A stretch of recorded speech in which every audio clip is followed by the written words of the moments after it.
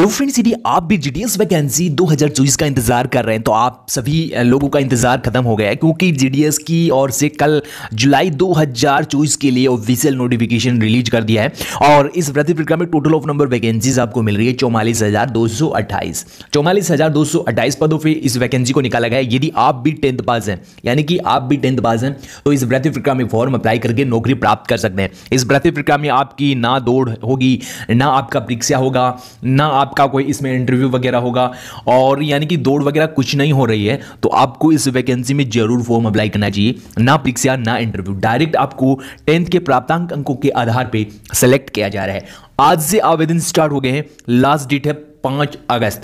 पाँच अगस्त से पहले पहले आपको ये फॉर्म अप्लाई कर देना है। आप सोचेंगे कि लास्ट डेट बढ़ेगी लास्ट डेट नहीं बढ़ेगी इस रिक्रूटमेंट की, क्योंकि मैंने काफ़ी बार देखा है, किसी भी जो जुलाई का शेड्यूल हो, चाहे वो जनवरी का शेड्यूल हो, किसी में भी लास्ट डेट आपकी नहीं बढ़ाई जाती है तो आपको समय से पहले ही फॉर्म अप्लाई कर देना है। सबसे पहले इस भर्ती प्रक्रिया के लिए यदि आप ऑनलाइन अप्लाई करना चाहते हैं तो सबसे पहले जीडीएस की इस ऑफिशियल वेबसाइट पर आना होगा। Department of vast ministry of communication government of India की ऑफिशियल वेबसाइट पे आना होगा, यानी कि नॉर्मली आपको गूगल में जीडीएस लगाना है तो टॉप पे आपकी ये वेबसाइट ओपन हो जाएगी। और यहाँ आपको इसमें बताया गया जीडीएस ऑनलाइन शेड्यूल जुलाई दो यानी कि मैंने पहले भी आपको वीडियो के माध्यम से बताया था कि ये वैकेंसीज आपकी थर्टी आ सकती है, यानी कि पैंतीस के समथिंग आ सकती है। लेकिन लेकिन आपकी वैकेंसीज आई है चौवालीस अट्ठाईस पदों पे, जो एक बड़ी वैकेंसीज है, इसके लिए आपको ज़रूर फॉर्म अप्लाई करना चाहिए। और ये फॉर्म है पंद्रह जुलाई से स्टार्ट हो रहा है। और इसके जो फॉर्म भरे जाएँगे, वो पाँच अगस्त तक भरे जाएँगे।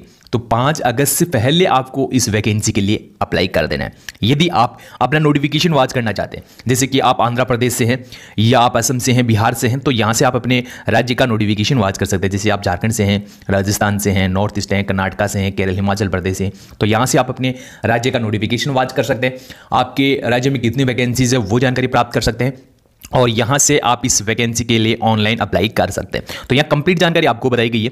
तो यदि आप फॉर्म अप्लाई करना चाहते हैं तो इस ऑफिशियल वेबसाइट पे आपको आना होगा। यहाँ से ही आपको नोटिफिकेशन डाउनलोड करना होगा। टोटल ऑफ़ नंबर वैकेंसीज आपकी आ चुकी है। चौवालीस हज़ार पदों पर जो है वैकेंसी निकाली जा चुकी है।